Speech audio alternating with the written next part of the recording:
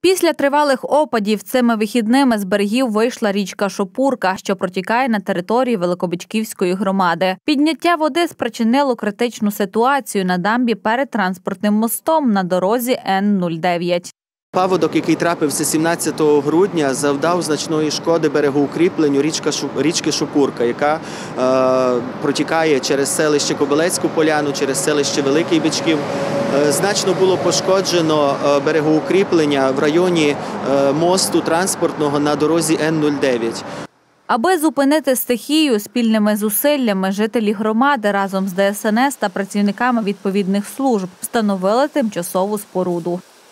Спільно з працівниками басейнового управління водного господарства річки Тиса, спільно з лісомисливським господарством, з місцевими підприємцями, з ДСНС, поліцією, ми оперативно е, забезпечили першочергові дії для того, щоб не допустити розмиву дамби.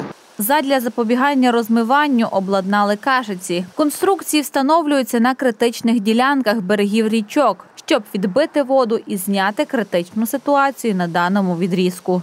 Було вирубано декілька смерек, опущено в воду для зменшення потоку, е, який е, значно розмивав е, тіло дамби. І якщо б ми цього не зробили, на сьогодні я думаю, ця ситуація була б набагато критичнішою.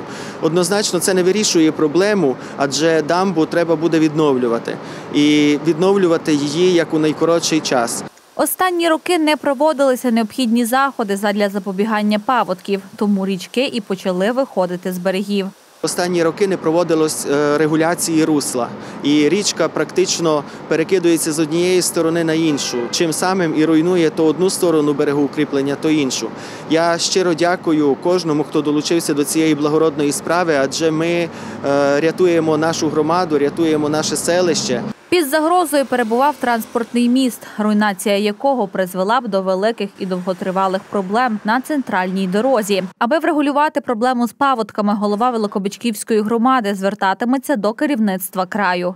Тому рада буде звертатися е, і до е, голови військової адміністрації, до голови обласної ради е, з проханням внести на наступний рік ці берегоукріплення до фінансування, адже для нас це важливо. Ми маємо зберегти те, що є, Проблема паводків турбує громади Закарпаття щороку, тому необхідно вигадувати все нові способи боротьби з ними. Через що жителі гірських населених пунктів заздалегідь готуються до великої води.